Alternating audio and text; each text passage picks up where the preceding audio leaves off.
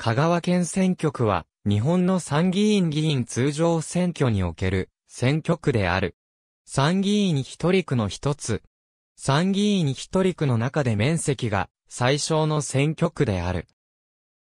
香川県全域2第25回参議院議員、通常選挙香川県選挙区時の内閣、第4次、安倍内閣第1次改造内閣2019年7月21日執行当日、有権者数、82万5466人、最終投票率、45.31%、当日有権者数、83万4059人、投票率、50.04%当日、有権者数、82万6930人、投票率、52.08%当日、有権者数、82万9698人、投票率、57.71%当日、有権者数、83万5673人、投票率、58.84%。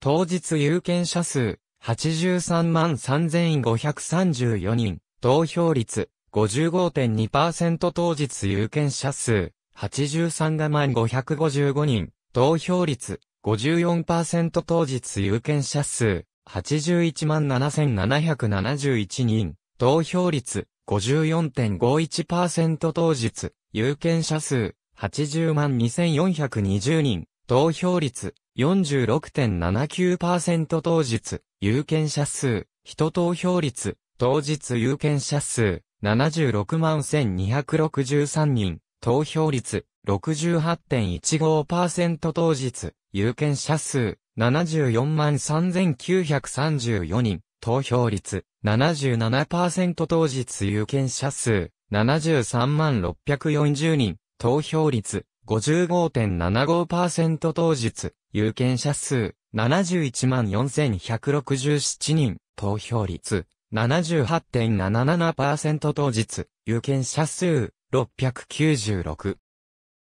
220人投票率、75.68%当日、有権者数、67万4716人、投票率、73.13%第8回参議院、議員補欠選挙1月27日執行当日、有権者数、人投票率、59.35%当日、有権者数、64万8900人、投票率、61.38%当日、有権者数、60万5384人、投票率、75.89%当日、有権者数、57万9415人、投票率、72.36%当日、有権者数、574,185人、投票率、75.71%当日、有権者数、576,072人、投票率、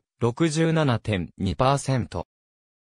第3回参議院議員補欠選挙6月28日執行、当日有権者数、人投票率、57.64%当日、有権者数、55万7254人、投票率、70.83%当日、有権者数、53万2110人投票率、72.46%当日、有権者数、51万7157人、投票率、82.34%第1回参議院、議員通常選挙香川県選挙区時の内閣、第1次、吉田内閣1947年4月20日執行当日、有権者数、49万6695人、最終投票率、65.51%、補欠当選は、任期3年。ありがとうございます。